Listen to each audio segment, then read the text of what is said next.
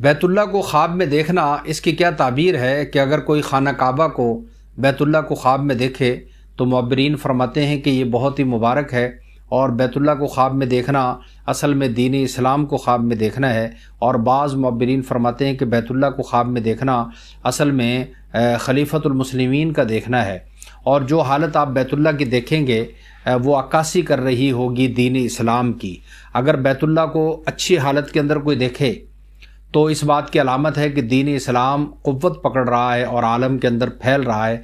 अगर कोई बैतुल्ला के अंदर नुक्स देखे, या गिलाफ काबा में नुक्स देखे, या मकाम इब्राहिम में नुक्स देखे और कमी देखे कि बैतुल्ला अच्छी हालत के अंदर नहीं तो इसका मतलब है कि दीन इस्लाम जो है, इस वक्त कमज़ोरी में है और दीन इस्लाम जो है, उसके ऊपर जो है दुश्मनों का हमला ज़्यादा है और दीन इस्लाम और मुसलमान आजमाइश और मुश्किल से गुजर रहे हैं।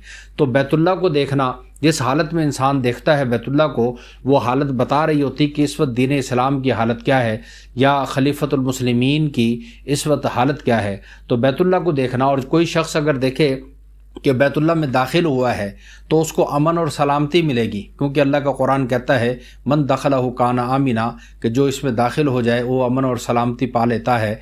उसे अमन और सलामती मिलती है। तो बाज़ ने फरमाया कि बैतुल्ला का देखना, या बैतुल्ला के पास जाना, या गिलाफ काबा को पकड़ना यह हाजत रवाई होती है। उसकी हाजत पूरी होती है, उसकी मुरादें पूरी होते हैं, और अल्लाह ताला अपने घर की हाजिरी उसको ज़रूर नसीब फरमाते हैं।